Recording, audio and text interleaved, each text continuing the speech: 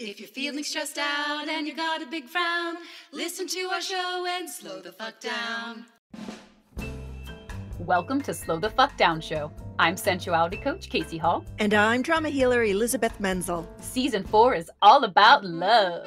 Each episode, we explore a different aspect of love with stories, science, skills, and songs so you can slow down and stress less. It's important to us that every episode is worth your time and that you leave feeling uplifted, inspired, and able to make positive changes in your life.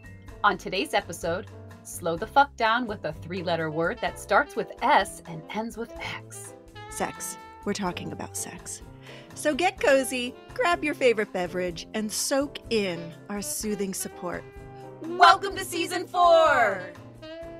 So, winter is the internal time of year, and we're in rhythm with Mother Nature. We slowed way the F down this winter. We went into full sloth mode, and we hope that you've been giving yourself a big slowdown too.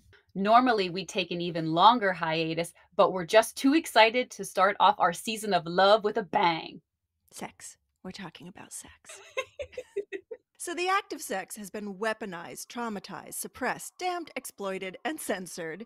So censored that we had to make an unnecessary long title of this episode because simply typing the word sex could get us banned from social media platforms. In this episode, we want to slow it down, shine a light, and talk about the healing, health, and humor aspects and illuminate the sacredness of sex. So, if you're ready for some sexual healing, we dedicate today's show to you. In its simplest form, sex relates to the specific sexual acts that human beings and animals engage in, either in pairs, groups, or solo. To some, sex is a simple act of physical pleasure. For others, it's a way of communicating deep feeling and experiencing connection. And for some, sex is a spiritual and energetic experience. Here at Slow the F Down Show, we welcome all definitions of healthy expressions of sex. So, Casey, how old were you when you found out about sex? What do you remember? I was in middle school and I first learned about sex in my CCD class. CCD stands for Confraternity of Christian Doctrine, and it's actually the early education for Catholics that was recommended by the Vatican. And I did not know that. I had to look it up. yeah, go ahead. I was just going to say, I mean, why would they tell you that? But maybe they did. And what kid's going to remember that anyway? right. I still have, a, I have a hard time saying it as an adult. But I remember being in CCD class and I had a crush on this boy in my class. And we had just had our first kiss a couple weeks prior. And I remember the nun talking about sex. And she said that if we had sex prior to marriage, that we were going to hell. And I remember looking at the boy I had a crush on and being like, oh, damn. That's not good. it was just like so conflicting because I'm like, oh, here's this cute guy. We just had this romantic feeling. And now if we take it further, like uh, we're both going to hell. Yeah, that's terrifying and shaming. Here you had this super pure experience of your first kiss. And then within a couple of weeks, the shame kibosh was put on you and fear around what would happen to you. Mine wasn't super much better. I mean, I know I read about sex in some way in Judy Blume books. I'm sure any other Gen Xers can relate to that. I don't remember exactly, you know, how or what it was, but I know that they were pretty racy and that a lot of schools across America banned Judy Blume books because of it. But I remember having the talk with my mom. I'm sure most of us remember the talk because it was probably one of the most embarrassing things that we had ever felt. I know it was for me. And it happened in a really kind of awful way. My mom and I were watching this uh, TV show called Baretta, and it was a cop show. And on it, a woman had just been raped. And that was the case they were trying to solve. At the commercial, my mom turned to me and said, Do you know what rape is? And I said, Yeah. And I felt eh, like this pit in my stomach and super embarrassed. And my mom said, Well, what is it? And I said, It's when a man forces a woman to take her clothes off and get naked. And she said, And then what? And I said, That's it. That's rape. And my mom said, Well, then the man forces the woman to have sex with him, even though she doesn't want to you know, there was this awkward pause. And then she said, Do you know what sex is? And I didn't really. I remember being like so embarrassed and so sort of turned into myself and turtling and trying to make myself as small as possible. So, my very first introduction to sex was through the lens of rape. I mean, how awful is that? I try to cut parents a lot of slack because I really believe that we do the best that we can. But to have that talk the first time be on the heels of a topic of rape, that was the association that your mind made. Yeah, yeah, and and no knock on my mom. I mean, hey, she really was doing the best she could with an awkward situation. And sadly, I'm not alone there. A lot of people are introduced to sex because of rape. Yeah, according to the National Sexual Violence Resource Center, 81% of women and 43% of men reported experiencing some form of sexual harassment or assault in their lifetime. Yeah, and over half of those sexual assaults are by someone that the person knows. And Slow Down fans, we know that this is a very tender topic for a lot of you, and it is a very tender topic for Elizabeth and I that we have a ton of compassion and empathy for. And we're bringing it up because part of the reason why it is so pervasive is because it's been kept in the shadows. It's because people don't talk about it. Yeah, it's often too scary or too dangerous to bring up.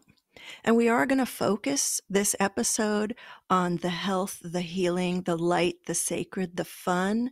But we can't contribute to the silence by not also bringing in this darker side and just wrapping our hearts around you and letting you know that we know how fraught with challenges the topic of sex can be. So, if you need support with sexual violence, you can Google rape support near me, sexual violence support near me, and local resources and safe houses will pop up for you. Or you can text HOME, H O M E, to 741741 and get immediate help from the crisistextline.org.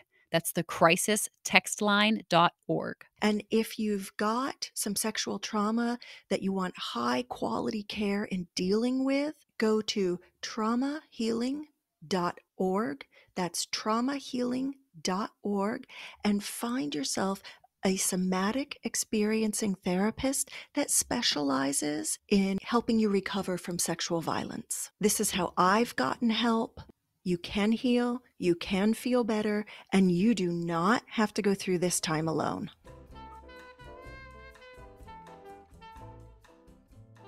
Luckily, my first time having sex was way better than my first time learning about sex. I had been with my boyfriend for nine months. We had set the date for having intercourse months in advance. I mean, what teenager does that? And two weeks before the first time sex date, we took two buses uh, through the city and went to a health clinic and had like a 90 minute conversation and private class with a nurse practitioner there who taught us about all the different methods of birth control and fitted me for a diaphragm and gave us a bunch of condoms and taught us how to use them. And it was awesome. We were so safe and proactive and pragmatic about our approach to sex, which uh, I've never heard of any girlfriends that have done that same thing, but wow, I, I, highly recommend it. I'm so appreciating the fact that we have a podcast right now because that is one of the most woke first time sex stories I've ever heard. and and this was before it was kind of cool to be woke like that too and I think that's amazing obviously I have watched plenty of teen movies over the years and teen TV shows and know that there's all this pressure for teens to have sex. And that was also the opposite of my experience as a teenager. I was in a group of really woke kids and we were all super mutually supportive. And I joined that group in junior high, but they had been together since grade school. They were brought up together. They're still all friends. I went to a party at their house before I left LA. We're all in our 50s now. So there wasn't any peer pressure to have sex. I know that that is not the typical story either. I'm so glad that you had that supportive group. That sounds like a, a truly rare and tight knit group if they're still close. And I do see a lot of parents consciously raising their kids to be sex positive. And so that goes out to their peer groups and they are educated well and they are taught consent. Yeah. And I think we're going in a really good direction. I grew up with the pressure to have sex. I remember being in high school and I decided with my long term middle school, high school boyfriend that I didn't want to have sex. And he was okay with it. Everyone else could not believe that we were together for so long and not having sex. Like he got pressure all the time. I got pressure, more so it was on him. And then I remember this strange thing happening where somehow our principals found out that we weren't having sex. And I remember being called into the principal's office, and it's like, Casey Hall, would you please come to the principal's office? And I'm like, oh crap, like I'm in trouble. And I remember getting in there, and they were like, hey, would you mind talking about abstinence to the ninth and 10th grade health classes? And I was like, what? I wish my, you know, then 15 year old brain could have asked some clarifying questions. First off, what do you know about me? Why, you know, all, all this kind of stuff. Because I was your all American good girl, I was just like, okay. And I remember going to these health classes with these ninth and 10th graders that I was like on active sports teams with and knew and just standing up there and being like yeah so uh, my boyfriend and i have been together for a while and we don't have sex does anyone have any questions that that was the extent of your speech. so yeah and i i remember at the time that decision feeling genuinely like aligned to what i to what i wanted i loved foreplay i just didn't want to have sex and so i didn't have a problem sharing that i just didn't understand why it was so important What a weird situation to put a teenager in. Jeez. You're like doing your their dirty work for them. and then you know fast forward to my mid 20s and i'm teaching sex ed in high school and fast forward to right now in this moment and i am a sensuality coach empowering people to own their sensuality and however that looks for them yeah, what a journey you've been on. right From reluctant abstinency teacher to sex positive, sensual and sexual and love teacher. That's a big journey you've been on, girl. right oh life is so weird So, there was a 2016 study that found that 85% of female participants said they masturbated at some point in their lives, with women starting at an average between 13 and 14 years old. And no surprise, 98.9% of male participants started masturbating around 12 or 13 years old. But in the 80s, only 11% of female participants said that they had masturbated at some point in their lives. So, that is a big, huge difference between 11% and 85%. So, yes, there has been a lot of sexual awakening over the years, a lot more sex positivity than there used to be, a lot more healthy conversations around sex than ever before. I think people's first experience with consensual sex is touching themselves. I remember reading an article, I think it was put out by Johnson and Johnson, and it was all about how healthy it is to masturbate. And I was like, "Oh, uh, I don't do that. I'd better learn how to do that." So, I remember trying to touch myself and I couldn't even do it because it made me want to throw up. Mm, mhm. And I honestly spent months trying to make myself masturbate. And luckily, I finally got it right. But it was a real journey in discovering my own body through a lot of resistance, shame, awkwardness. But I think it was a really important thing for me to do. And I did that two years after I had had sex for the first time with someone else. So I kind of went about it really backwards and was late to that particular party, although it's a party for one. uh, liz party for one Liz, party in your pants for one. liz party in your pants for one Yeah, I mean, normally that's not something I'm going to bring up, but I really want people to hear that in case they feel the same way, in case they feel weird about touching their own bodies and have a lot of embarrassment around that. I feel ya. You're not alone. Yeah, and you know, you you mentioned actually feeling nauseous at the idea of even touching yourself. I've experienced it and I continue to hear it. I remember hearing people calling their penis or their vagina or anything in the genitals no no spots. Yeah, or your naughty bits. Mm-hmm. Part of it is you're trying to be cutesy about it, but what you're actually saying is that there's something inherently wrong with this part of you. And that sticks. You know, that sticks in the mind, that sticks in the body. And as we know, trauma gets stuck in the body. I remember watching a mother one time and their son I want to say he was maybe like four ish. And their son stuck his hands in his pants, sitting there while we were talking. And she looked over at him and was like, Oh, ew, disgusting. Don't ever touch yourself there. Get your hand out of the pants. And just started like berating this kid. And I remember sitting there and of course I'm not going to step in and tell a mother how to raise her child.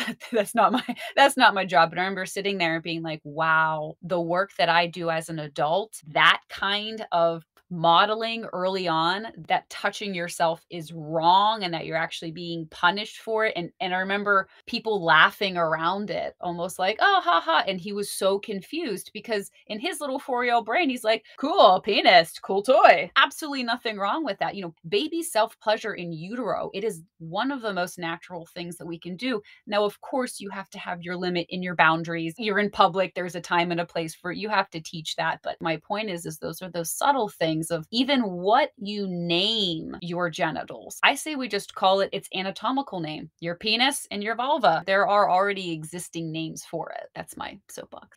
And Elizabeth mentioned that we'd come a long way in terms of sex positivity. And there is a resource called omgyes.com. This is a guide for singles or couples to go to and learn all things masturbation. They have special names for different skills and tactics. So if you are someone who found yourself in the situation like Elizabeth was in, where you're wanting to learn how to self pleasure better or how to pleasure your partner, go to omgyes.com and check it out. Awesome. So, you know what else is really interesting with me about the the whole societal pressure thing? Didn't have it in high school like most people do, but I remember being in my 20s. Now, I don't remember anyone specific telling me this, but the message that I internalized from the zeitgeist was that I should be extremely sexually explorative and free and polyamorous, and that if I wasn't, there was something wrong with me, and that it's just sex and just go for it and just do it. And so I shoved my own truth down way down deep inside because my deep, dark secret was that I just wanted to be monogamous. and have really sacred sex with one person. But that's not how I lived. how I lived was not promiscuous. That was never my thing, but it was a lot of different sexually adventurous situations that I would get myself into. There is barely anything that I have not done or tried. I mean, mm. you can do that from a really healthy place. I'm owning, like, I kind of forced myself into these situations. And it took me until my uh, late 20s to get really honest with myself and just be like, I just want to settle down and be married and be with one person. I feel like I've done a lot of things late or in a reverse. I think part of what helped me admit to myself that I wanted to be more monogamous was that I ended up with an STI from all of my sexual freedom. And so I also just wanted to be safer. On Healthline, it says as many as one in two Americans have oral herpes, and it's estimated that one in eight Americans ages 14 to 49 years old have genital herpes. Almost every single person I've ever talked to has some kind of herpes. I think it's just way more common and people don't admit it. They don't talk about it. It's not recorded. And unfortunately, just like flea bites and mosquito bites, women are almost twice as likely to contract HSV2 than men are. Thank you for presencing that and normalizing it because, again, when you don't talk about something, you give it more power. Right. And you can be more likely to be a victim of it. Yeah, STIs have a profound impact on personal, sexual, and reproductive health worldwide. More than 1 million STIs are acquired every day. In fact, nearly all sexually active people will have HPV at least once in their lives. Bummer. Bummer. But let's talk about it so that we can be safe. In 2020, the World Health Organization estimated 374 million new infections of one of the top four STIs chlamydia, gonorrhea, syphilis, and Trichomoniasis. and trichomoniasis. Try to say that three times quick. STIs suck. Boo. Boo. Yeah, they do. Ugh. And you know, I thought it could never happen to me. Oh, we think we're so invincible until dun dun dun.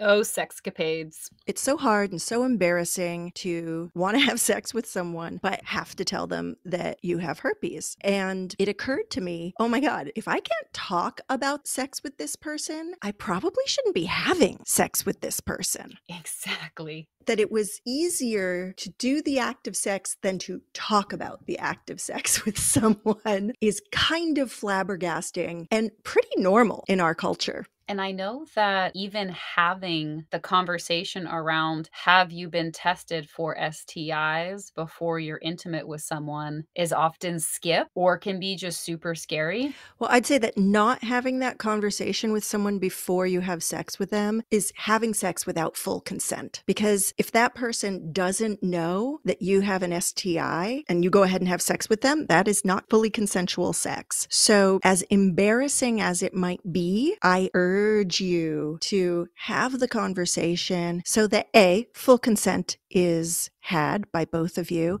and you're empowering them to admit that they probably have an STI too. And as adults, you get to decide how you both want to keep yourselves safe consent and having those open honest conversations up front is something that i've seen the lgbtqia communities rock at in the past couple years for numerous reasons. If it's non heteronormative sex to begin with, then that conversation, more times than not, has to be had in terms of what you're comfortable with, what you're not comfortable with. And a lot of times goes the STI conversation and other questions that encourage feeling comfortable before you engage in the act often occur. So I think in that way, the LGBTQIA community really sets an amazing example. Big thanks to our queer brothers and sisters. I remember a time when I shared with my partner about having an STI and we agreed to use condoms. Wasn't even active at the time, it was completely in remission, but still had the conversation, wanted to be safe. We were about to have sex, grabs the condom. I can hear him open it. He's fumbling in the dark with it. We're having sex. And then he says, Oh, I guess I should put the condom on now, huh? I felt like I had been punched in the gut and I went kind of just numb and quiet at the time. I remember feeling furious, but there's the flight, fight, freeze, faint response of stress. And I just went into that freeze response and kind of shut down. And it was so super traumatizing because that trust was broken between us. Soon after, I developed a yeast infection that lasted a year, people a year of hell. I went to doctors in two different countries. I took every medication. I did everything I could to try to heal that, but I stayed with that guy.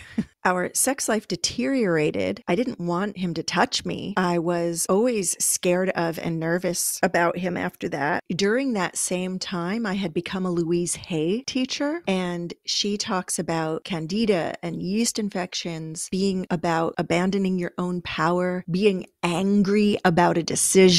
And in a way, the yeast infection was also doing something I couldn't do for myself, which was it was keeping someone who felt unsafe for me away from me. It was saying no for me because I could not say no for myself. I'm so glad that you shared that. And I'm sorry that you had to deal with a yeast infection that went on for a year because that's just awful. You are at least the 30th woman that has shared a very similar story where they have been in partnership with someone. Something happened, that trauma in your situation, the trust was broken, and then they developed a yeast infection, or they developed BV, bacterial vaginosis, they developed a UTI, and then could not be physical with their partner as a result. And it just went on and on and on until either the issue was resolved or they split with that partner and then it went away. So much of the work that Elizabeth and I do take people from their heads into their bodies and really start to listen to the messages that our bodies are always, always giving us. And our genitals are no exception to that rule. According to Norwegian doctor, psychiatrist, and clinical sexologist Haakon Aars, your sympathetic nervous system triggers the fight, flight, freeze, and faint response. You experience an increase in heart rate, your palms sweat, you want to go faster and speed ahead. This is also known as your accelerator mode. Your parasympathetic nervous system puts on the brakes and lets you rest or digest or feed and breed. And when your accelerator has been in overdrive for a long period of time, your body will actually begin to produce more cortisol, aka the stress hormone, thus producing less testosterone. Most people with long lasting stress symptoms experience a decrease in sex drive how many of you, gosh, I know I can, but how mm-hmm. many of you slow down fans can relate to just being so stressed out and then having your partner want to be intimate and you're like, oh my gosh, I can't. It is inaccessible for me to even fathom being turned on right now because I'm so stressed. Yeah, I can totally relate to being too stressed out for sex. Because of the nonlinear movement method and having trauma therapy, I've been handling my stress much better. I don't have long term stress issues anymore. My PTSD symptoms are minimized, and I'm able to experience that deeply connected, healthy, loving, sacred sexual relationship that I wanted since the very beginning beginning, I'm still a little uncomfortable talking about sex with my partner. I can talk about it with my clients and my girlfriends all day, but talking about it with my partner, I've gotten way better at over the years. But there's, you know, I still have to push myself forward to have these conversations. I still get red in the cheeks, but I do it now. And it's been this real journey of feeling safe, of opening my heart and opening my sensuality and my sexuality with another and uniting my loving heart with my saucy, primal sexual energy and letting them both be there at the same time and that safety that you've cultivated for years and years and years is what allows them to both be there at the same time. Yeah, yeah, it really does. You know, my latest journey inside my own body has been with menopause, and it's really common to have pain during intercourse and menopause. And when that first started happening, I felt embarrassed about it. And sort of my old reaction of just sort of clamping down and staying quiet about it and kind of just getting through it happened a few times. And then I was like, no, wait, my commitment to being fully consensual and truly uniting with my partner helped me to overcome my own embarrassment and bring up to him that I was experiencing pain and discomfort. And then, you know, we could work on it together. And I got to shift into being more playful and present during sexual intercourse and realizing that I had to keep, you know, changing positions and trying new things. And let's try this way and let's put our legs this way. Let's go this way. And it became more lighthearted and more co creative. Like it brought us even closer. I think that's the gift that healthy sacred sex gives to us is that ability to keep it fresh and present and alive with our partner because it's so common especially in long-term partnerships to fall into ruts And if you have pain on intercourse and are committed to keeping united and having healthy sexuality, it does not let you fall into a rut.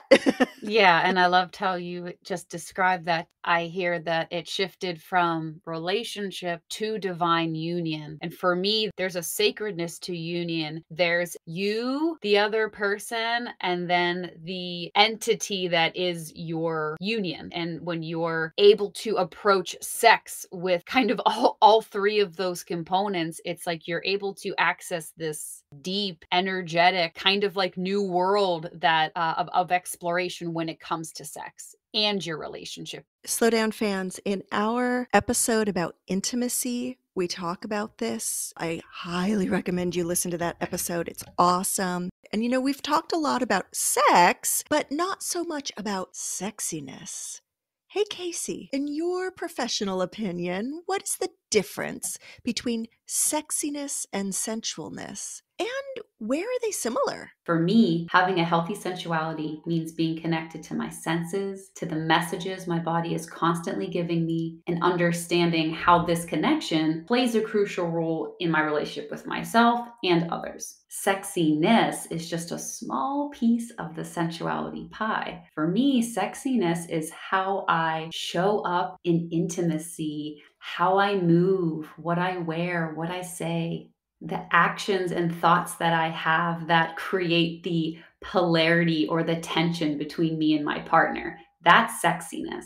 I know for a long time I never felt sexy. Putting on a skin tight, strappy black dress or lingerie does not make me feel sexy. But when I'm really deeply in touch with my body, with my bodily sensations, with scent, with a candlelit atmosphere, seeing beautiful things. I'm in touch with my sensual nature. And I may not feel sexy when I'm in touch with my sensual nature, but I can't feel sexy unless I'm in touch with my sensual nature. So I can feel sensual in soft, cuddly pajamas and get into a sexy mood from that place. And I can put on a piece of lingerie and either feel sexy or not feel sexy because it's all about my connection with myself. Oh, I love that. So, sensuality is like the necessary foreplay that you need in order to tap into sexiness. For me, absolutely. I love that. I've felt, and I hear a lot of my clients say they feel disconnected from their sexiness.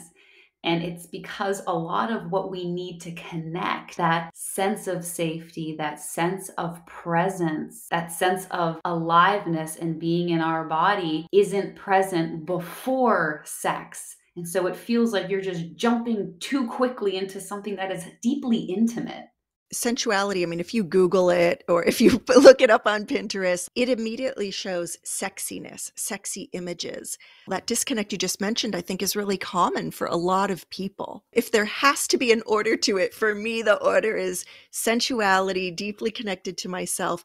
And now I have the presence and the ability to feel my innate sexiness and then bring that to my partner or to myself. I love it. And I love that question too, because you're making me realize if I had to use one word to describe sensuality for myself, it's connection. When I wake up in the morning, I open my eyes and the first thing I do is feel my body in the sheets. And I'm like, oh, it's morning. Oh, I'm here. Okay. And then I will run my fingers over my arm and start to wake up my body and be like, ah, wow, we're waking up. And then I get up and I make myself a cup of tea, connect with the warmth, connect with the sensations, connect with the lemon and, and drink it. And all the while, I'm slowly using my senses to connect more and more with my body. And the last part of my morning routine is going outside and putting my bare feet on the earth and literally connecting with the earth. And then I'm connected to the elements, I'm connected to Mother Nature. And, and all the while, I'm feeling the temperature of whatever the ground is beneath my feet. I'm feeling the wind on my face. I'm feeling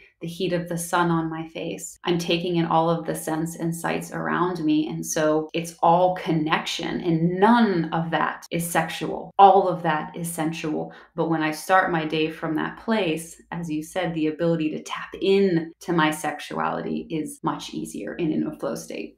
Thank you so much for bringing nature into that equation. As soon as you said it, I was like, oh, yeah, duh, of course, because getting out into nature, getting your feet on the earth is such a great helper to tap you into your sensual self.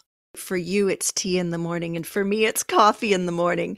And I know so many people can relate to that. They have a truly deep relationship with their morning coffee or their morning tea, and it's a very sensual experience. I love every step of that process. I love opening the container and smelling the beans, grinding the beans. Like every part of it is a sensory experience for me.